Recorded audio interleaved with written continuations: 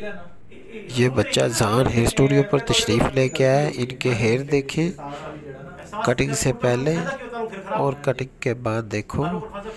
ये है जान हेयर स्टूडियो का कमाल। अगर आप हमें सब्सक्राइब करोगे फॉलो करोगे लाइक करोगे कमेंट में बताओगे तो इन आपका